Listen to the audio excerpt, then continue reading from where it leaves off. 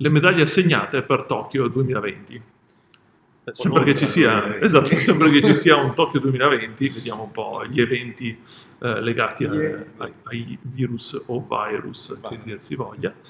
E, però insomma comunque alcuni dicono che vengano spostate a Londra esatto. le Olimpiadi estive, insomma è uno degli scenari previsti, ma insomma in ogni caso si pare che una qualche Olimpiade si faccia esatto. estiva, infatti i ragazzi si stanno preparando per farla. Eh, in tutto ciò c'è stata un'intervista di John Bertrand durante eh, diciamo, il TF Live, il video podcast di Tom Emman. Tom Emman. Martedì scorso John Bertrand ha espresso tutta una serie di cose, lui si occupa della performance del team statunitense. Esatto, con una, diciamo, un'ottica molto sta- statunitense centrata sull'obiettivo, no? Esatto. Per cui faceva tutto questo discorso in cui eh, dovendo giustamente gestire delle, delle risorse, non solo che sono scarse, sono esatto. scarse anche negli Stati Uniti, sono molto scarse per, la, per le squadre esatto. olimpiche. E, e, comunque non sono solo economiche, cioè ci sono sempre delle persone, a volte migliori, a volte peggiori, che bisogna cercare di mettere eh, in, in, alcuni posti. Nelle decisioni lui appunto eh, pensa a mh, quali medaglie eh, alle Olimpiadi eh, siano eh, già diciamo, assegnate, cioè siano, ci sono alcune nazioni che si sa già che in una certa classe prenderanno una medaglia. Magari non sarà oro, magari sarà bronzo, però sostanzialmente hanno degli atleti, quindi vuol dire che esatto. eh, arriveranno sicuramente entro i primi tre posti. Anche per, per il CONI, diciamo, il, il, problema è quello di prendere una medaglia, non è quello di piazzarsi bene, quarto, quinto nei dieci, cosa. Quello conta poco, conta più magari per la federazione. Sì. No? Per la performance dell'atleta, eccetera.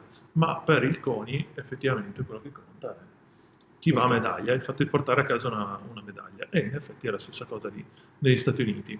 Eh, diciamo che John Bertrand, che comunque non è uno scemo, no, insomma è uno dei velisti più forti al mondo, è sempre stato, ha, eh, utilizza un sistema molto, molto analitico, lui vede anche le performance all'interno della regata, lui trasforma delle, della serie regate, lui trasforma tutto in grafici, quindi vede diciamo, il, rendimento degli atleti e comunque se lo trasformi in numeri effettivamente non è così sbagliato. Cioè, no. lui, alla fine lui cerca di estrapolare una tendenza da una, dalle prove che ovviamente sono più altalenanti, però effettivamente per marcare il livello di un atleta sicuramente non è male, sicuramente non è male analizzare in quel modo lì. È una, è una cosa soprattutto fatto da un tecnico che poi magari rimuove le, diciamo, esatto. le, le controperformance o insomma, in modo tale che non gli rovini la statistica. Effettivamente funziona molto bene. Per quanto riguarda le medaglie Locked oppure le medaglie Likely, esatto. diciamo che eh, se tu devi allocare delle risorse, devi investire, tu come paese devi investire o su quelli che sono i tuoi atleti che hanno già alloccato una medaglia, esatto.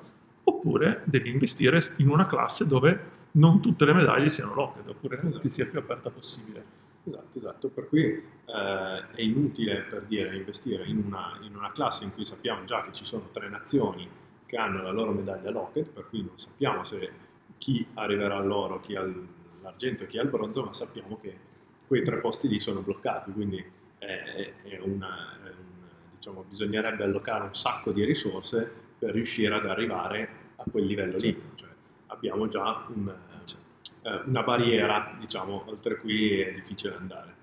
Certo.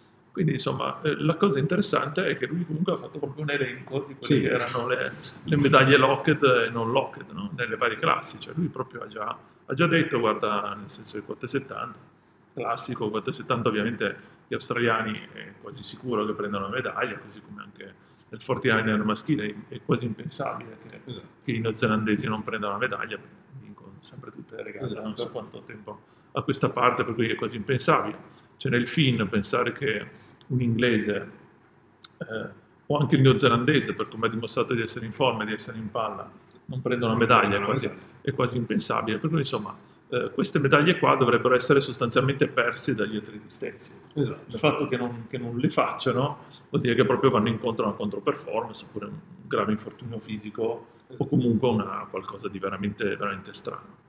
Eh, la cosa interessante, cosa interessante è che l'Italia non ha, per non John Vernon non ha una medaglia locked che sia una. Esatto. Quindi, diciamo, secondo il suo sistema e secondo la sua idea, molto probabilmente io posso pensare che l'Italia eh, sia considerata likely esatto. nei NACRA, mm. dove sarebbe stata Lockheed probabilmente fino a, fino a pochi mesi fa, sì.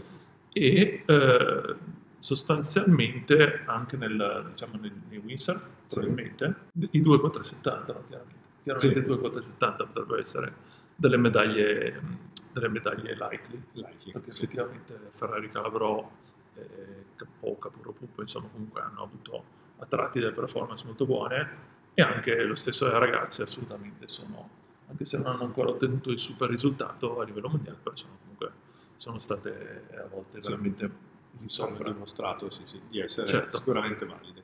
E, non so che cosa. Non penso che, non penso che, siamo, che possiamo essere likely da nessun'altra parte, cioè il resto delle, delle classi molto probabilmente sarebbero delle super performance. Sì, esatto, si parlerebbe, sarebbe, si parlerebbe di una, una, cosa diciamo fuori dal, dall'ordinario. Esiste sempre il dato fuori statistica, appunto. Esatto. Eh, a volte verso l'alto, a volte verso il basso, però eh, certo. è un dato che è fuori statistica e certamente se succede alle Olimpiadi poi fa, fa, più statistica lui nel senso che fa medaglia, però, eh, però è una cosa eh, difficile che accade, insomma.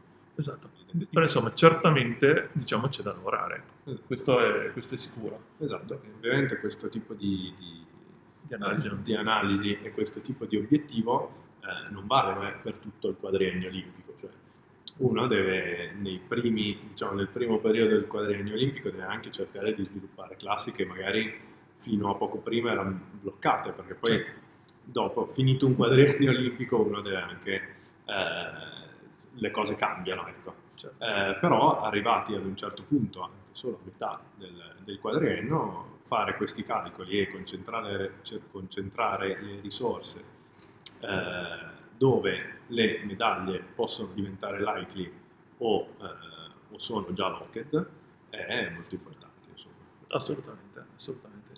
Eh, diciamo che eh, l'unica, una falla che io vedo in questo ragionamento è che se tu comunque fai un sacco di regate in condizioni abbastanza eh, diciamo, simili tra loro e poi in realtà magari ti perdi eh, so, tutte le regate con onda e vento forte in vento, no? col NACRA dove comunque i nostri sono sempre stati fortissimi è ovvio che la tua statistica rimane fallata esatto. magari potresti avere delle idee un po' diverse un po' diverse in un, un altro tipo di regata potresti farti un'idea certo. e anche una statistica un po' diversa insomma comunque chi fa le statistiche deve anche e deve anche considerare questi parametri. Questi no? Cioè, difficile di fare la statistica non è mettere i numerini uno in fila all'altro, ma è eh, giudicarli. Sì. Esatto. Quindi ragazzi c'è da, c'è da lavorare e noi siamo, facciamo il tifo. Esatto, facciamo, facciamo il tifo. Ciao il coronavirus. Oh. Ciao, ciao.